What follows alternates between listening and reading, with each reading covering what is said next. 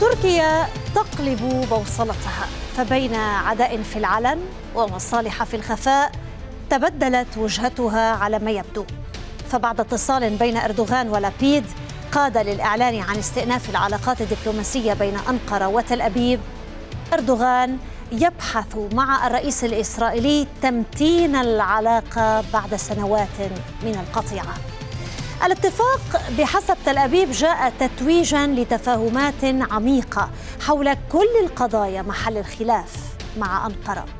واليوم أردوغان نفسه يخطب ود القاهرة ودمشق ويؤكد الحاجة إلى عودة العلاقات إلى طبيعتها مع القاهرة في أسرع وقت ممكن ويدعو إلى ضرورة الإقدام على خطوات متقدمة مع دمشق. مشيرا إلى عدم استبعاد الحوار والدبلوماسية بين الدول. ما السر وراء هذا التحول المفاجئ؟ نرحب بضيوف هذا الحوار الليلة من أنقرة الكاتب والبحث السياسي جاهد توز من القاهرة رئيس المجلس الاستشاري للمركز المصري للدراسات الدكتور عبد المنعم سعيد ومن القدس الكاتب والبحث السياسي شلومو جانور أهلا وسهلا بكم جميعا معنا الليلة إلى هذا الحوار الذي أبدأ من تركيا. أستاذ جاهد تحولات كبيرة حقيقة في السياسة الخارجية التركية. نشهدها مؤخرا. يعني قطار أنقرة الدبلوماسي يسير في اتجاه جديد أستاذ جاهد ويتوقف على ما يبدو في أكثر من محطة. نتساءل معك الليلة لماذا تحاول أنقرة اليوم؟ لملمة أوراقها المتعثرة خصوصا في الشرق الأوسط.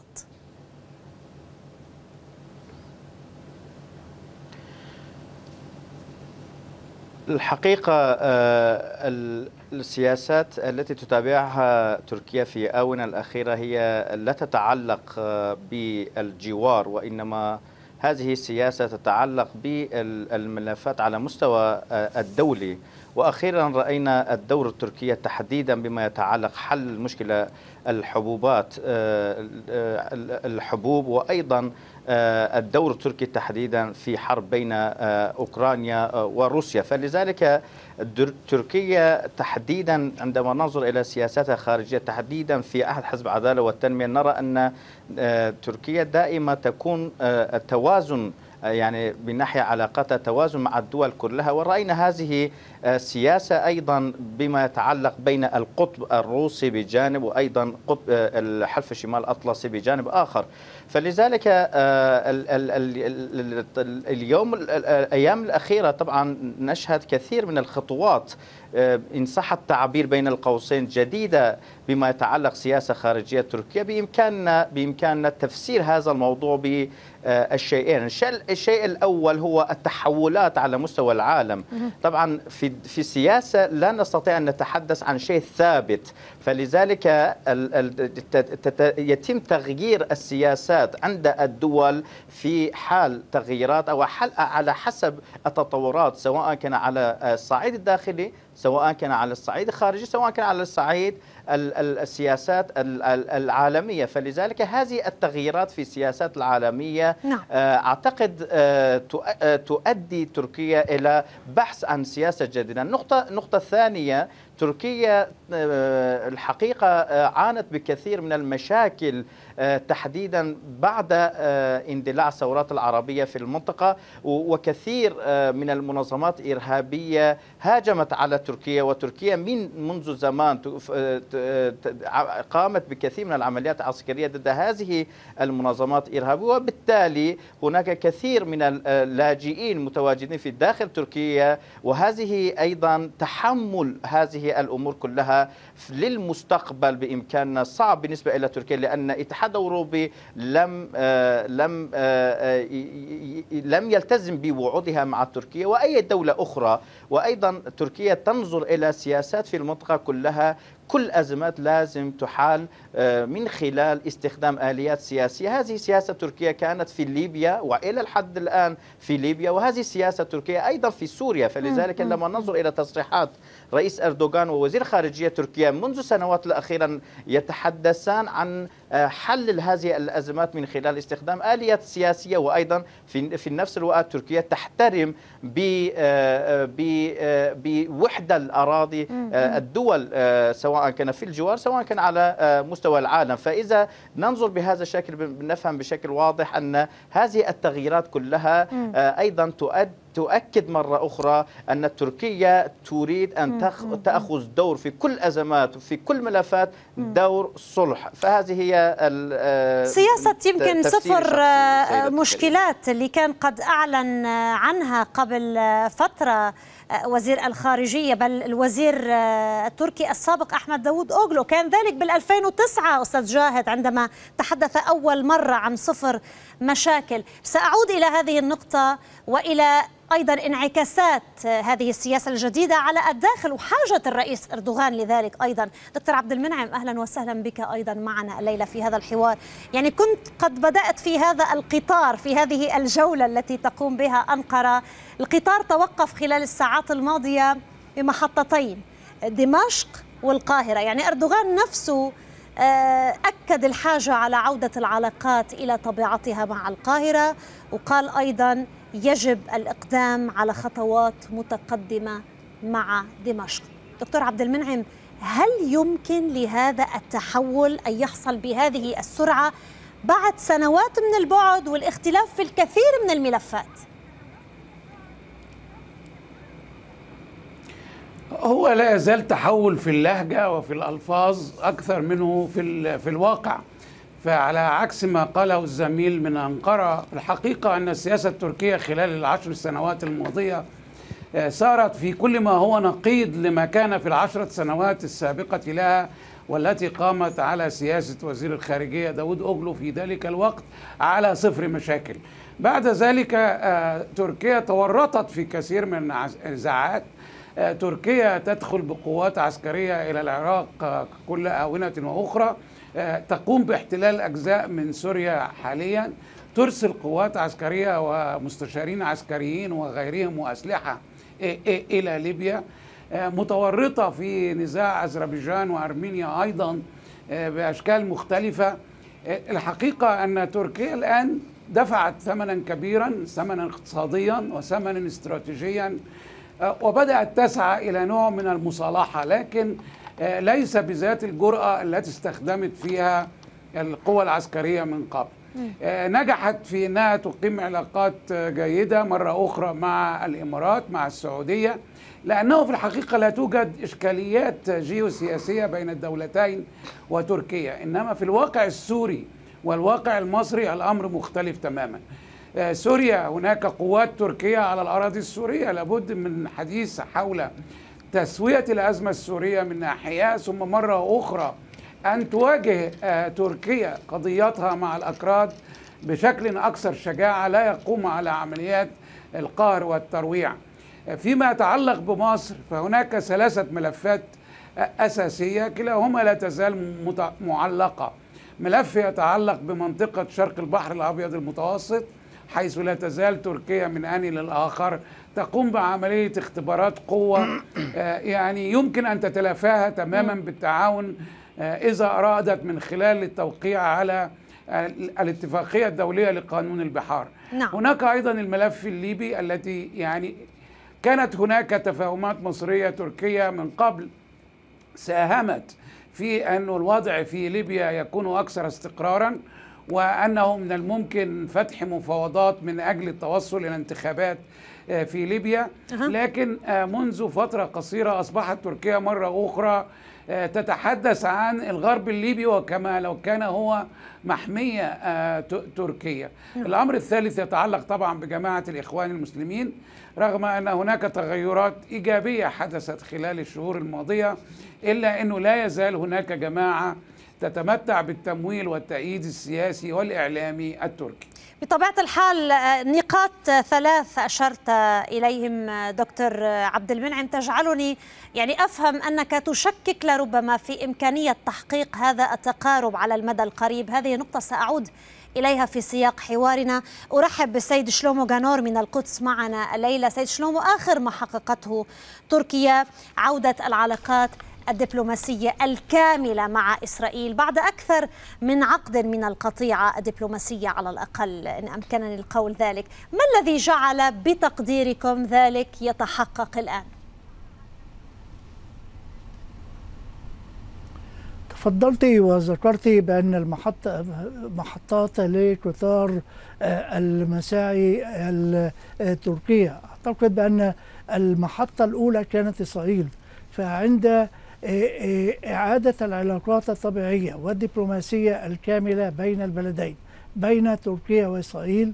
هي سبقت المحطات الثانية والثالثة التي أعقبتها السياسة التركية. في نظر تركيا وفي نظر إسرائيل تركيا تعتبر إسرائيل جسرا وأيضا مدخلا للولايات المتحدة لتحسين وضعها السياسي في أعين الإدارة الأمريكية الحالية لتخفيف وطأة الانتقاد الذي تتعرض له تركيا للتعاون في فيما يتعلق بشرقي بحر الأبيض المتوسط خاصة فيما يتعلق بموضوع مد أنبوب الغاز وأيضا بالنسبة لاتفاقات إبراهام اتفاقات إبراهيم. بدون هذه المواضيع ليس كان بإمكان تركيا الوصول إلى استئناف العلاقات مع السعودية وأيضا مع اتحاد الإمارات وهذا مما جعلها كالعودة إلى إلى المنطقة وكسر العزلة التي عانت منها. الاستفادة هي متبادلة ومبنية على المصالح المشتركة تمام. لكل من البلدين في إسرائيل واقعيين بأن الرئيس أردوغان ليس يعمل من منطلق براجماتي ليس له أيديولوجية يسعى بكل قواه لتحسين الأوضاع الاقتصادية التركية بغيه تحقيق انتصاره في العام القادم لاعاده انتخابه. كل هذه هي مجالات. وأما بالنسبة للمواضيع المختلف والمتباين عليها فهناك اتفاق بين البلدين اتفاق على عدم الاتفاق حول المواضيع المتباين حولها ومنها الموضوع الفلسطيني. هذا هو أساس العودة من العلاقات. لا شك أن عودة العلاقات بعد 12 سنة من القطيعة ربما بدأنا مع الأمل. شهر عسل على أمل أن يدوم سنوات ومستقبل أطول شهر عسل أتى بعد خلافات يا سيد شلومو بعد انتقادات لربما وجهت للدول اللي يعني تقاربت من الجانب الإسرائيلي هذه نقطة مهمة أستاذ جاهد هل حقيقة المصالح المشتركة اللي أشار إليها السيد شلومو جانور الآن بين الجانبين هي التي دفعت أنقرة لاتخاذ هذه الخطوات؟ سيدتي لازم أن نفصل بين شيئين. أول شيء هناك بعض الملفات الأساسية في, داخل في بالنسبة إلى سياسات تركيا لا يمكن تنازل عنها. على سبيل المثال بما يتعلق علاقات تركيا وإسرائيل لا يمكن تنازل على الملف الفلسطيني بالنسبة إلى تركيا. هذا خط أحمر بالنسبة إلى تركيا وسياسات تركيا في هذا الجانب سوف ستستمر على وضعها الحالي والماضي والمستقبل ستستمر بهذا الشكل. هي النقطة. النقطة الثانية بما يتعلق على التحولات الجديدة ووفق التحولات جديدة متابعة سياسة جديدة ونحن الآن الشيء اللي نحن نتحدث نتحدث عنها هي هو المتابعة إلى سياسة جديدة لأن كما قلت قبل قليل هناك كثير من التحولات على مستوى العالم تحديدا بجانب الولايات المتحدة الأمريكية بجانب الاتحاد الأوروبي بجانب روسيا والصين. وهناك آه، حروب بين الدول الحروب غير معلنة. فلذلك السياسة هذه التي تتابعها تركيا آه، آه، تأتي جاءت بعد هذه التحولات كلها على مستوى العالم وبالتالي أيضا لكن هناك لكن بذلك حاجات أستاذ جاهد أعذرني على الدو- بذلك تكون آه، يعني أنقرة تفضلي. قد تقر بالدور الكبير اللي تلعبه إسرائيل في المنطقة. هذا لا يع... لا, تعني أن تركيا تعطي دور كبير ل... ل... لإسرائيل لكن بالنسبة يعني هناك كثير من الملفات آه، تركيا بحاجة إلى إسرائيل وإسرائيل بحاجة إلى تركيا وتعاون تركيا مع الإسرائيل في هذه الملفات تحديدا نقل غاز إسرائيلي إلى إلى إلى دول الاتحاد الأوروبي. هذا أيضا ستفيد إلى الدول بجوار. فلذلك أنت لا تستطيع أن تنفذ هذه مشاريع مشاريع كبيرة على مستوى العالم وعلى مستوى الإقليم وأنت في حرب مع الدولة الإسرائيل ومع دول أخرى. السياسة بجانب الحقيقي تابع السياسة إن في في مصطلح براغماتي الدول لازم يكون براغماتي لأن أد- إذا أنت تقطع علاقاتها الكامل مع أي دولة من الدول هذه نحن في في المدارس في الجامعات آه، تدرس للطلاب في علاقات سياسية ودبلوماسية. ف- جميل. ففي هذه حالة أنت إذا تقطع علاقاتها كلها مع الدول أنت لا تستطيع لا تستطيع أن تبني أي شيء جميل آه، هذا بما التصريح يخص. علاقتك مع هذه الدولة وأيضا لا تستطيع أن ت... هذه نقطة أن مهمة تلعب مهمة أي دور على مهمة مستوى جداً. السياسة مع دول في المنطقة نعم. فلذلك أختي الكريمة أنا أعود بعد إذنك مرة. مرة الأخيرة أنا. أعود أن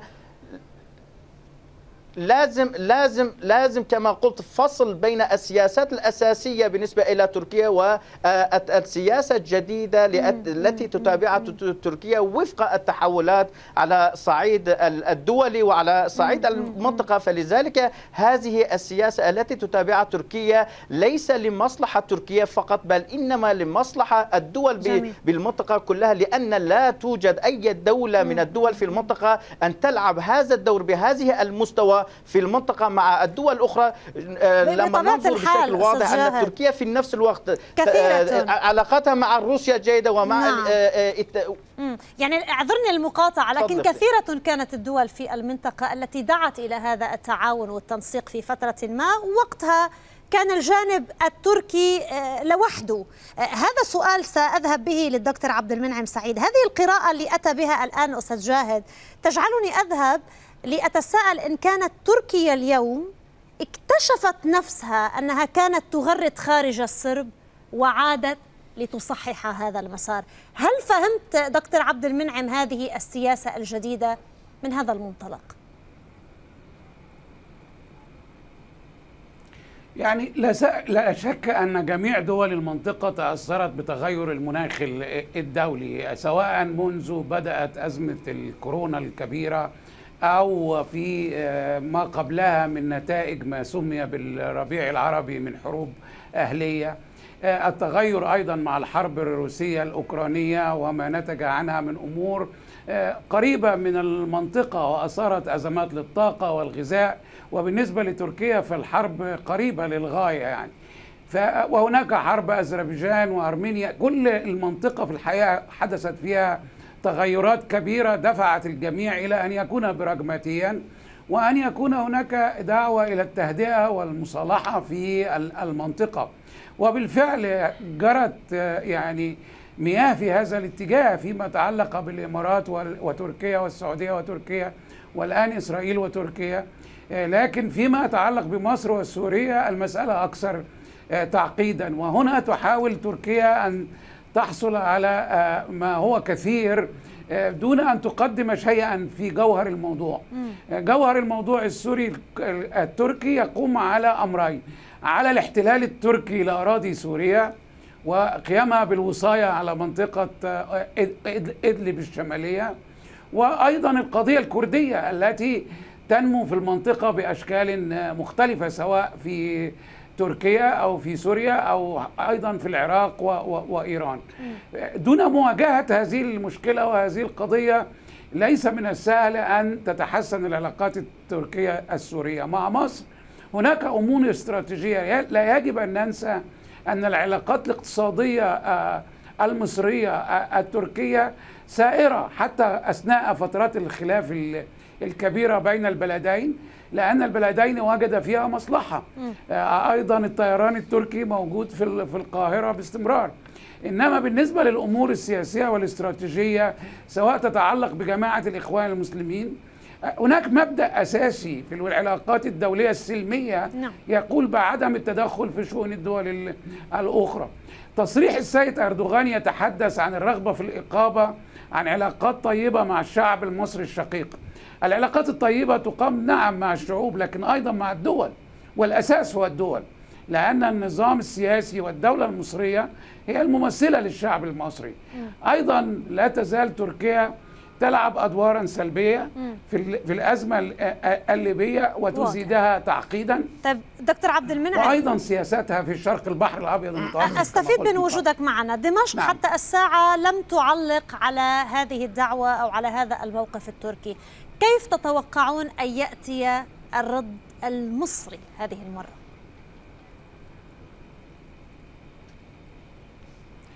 لا يجب أن أقول أن سوريا يعني تتصرف من منطلق سيادتها على كامل التراب السوري. ومن ثم فإن تكتيكاتها وتصريحاتها سوف تتناسب مع هذه الحقيقة. آه، يعني ربما هذا يتوقف على قدر الضغوط الكبيرة الداخلية الواقعة على على على سوريا. أما بالنسبة لمصر فنحن نشجع كل تطور إيجابي في التحركات التركية. لكن هنا أنا أقول رأيي كباحث أن هذا ليس كافيا وأن هناك حاجة ماسة إلى مزيد من السلوك التركي على الأرض وفي القضايا الأساسية كما فعلت مع إسرائيل وكما فعلت مع السعودية وكما فعلت آه، مع الإمارات. عندما دخلت إلى لب المسائل وتم تحديد القضايا بأن هناك قضايا يمكن التفاوض حولها والاتفاق عليها وقضايا تظل على الرف كما يقال آه، مثل القضية الفلسطينية. آه، هنا ممكن أن أتفاهم ذلك لكن ذلك ليس معلن من الجانب التركي. الجانب التركي يتحدث في عبارات فضفاضة عن الرغبة في علاقات جيدة مع الشعب المصري. ولا توجد أي مشكلة بين الشعب المصري والشعب التركي. واضح. فهذه يعني تلاعب شوية بالألفاظ وليس حديثا في السياسة. هلا هذا التخوف يجعلني أتساءل مع السيد شلومو جانور عن ما تنتظره لربما آه، إسرائيل من التقارب الجديد، يعني البيان الأخير أكد بانه هذا الاتفاق على عودة العلاقات الدبلوماسية بين الجانبين جاء تتويجا لتفاهمات عميقة حول كل القضايا محل الخلاف، هل يمكن الوثوق بهذا الكلام سيد شلومو؟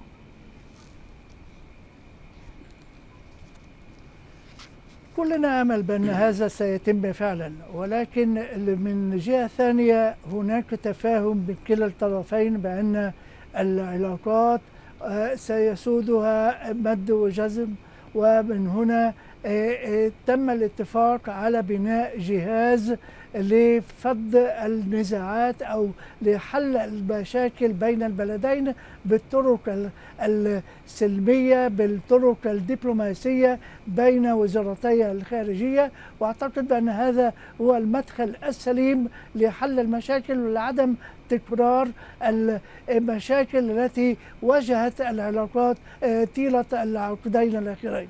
من جهة ثانية لا لا يراودنا أي شك. هنا في إسرائيل بأن حجر العصر آه، هو في العلاقات سيكون أحد المواضيع الموضوع الفلسطيني. ولكن من جهة ثانية علينا ان نذكر بأن هذا الأسبوع الذي تم فيه آه، الإعلان عن إعادة العلاقات الدبلوماسية والقنصلية وكامل العلاقات آه، بين البلدين تم بعيد انتهاء العملية العسكرية في آه، غزة. ولذلك هناك تفاؤل بأن تكون هذه العلاقات إيجابية على المدى القريب. كلما يريد الرئيس أردوغان الاستمرار في هذه العلاقات. واضح واضح سيد شلومو. أستاذ جاهد توز استمعت إلى السيد شلومو جانور وإلى الدكتور عبد المنعم في بعض المخاوف من إمكانية تطبيق كل ما تقوله أنقرة.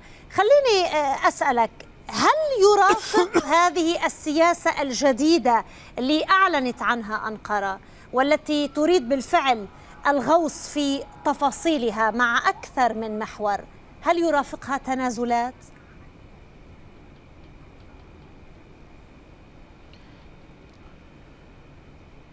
أنا الموضوع لا لا أرى أن يخص بالتنازلات أو ما تنازلات. ضيفك الكريم آه، ليتحدث من القاهره يتحدث عن ملفات وليس أي علاقة بهذه التطورات أو بأي السياسات كيف كيف ما لها علاقة أستاذ جاهد؟ أتت بها تركيا؟ بس في علاقة لما مباشرة لما يعني خلينا ناخذ بس موضوع سوريا. سوريا وحده موضوع لوحده. خلي خلي أختي الكريمة أشرح الموضوع. خلي أشرح الموضوع. تفضل. خليني أشرح الموضوع أختي الكريمة. تفضل أستاذ جاهد.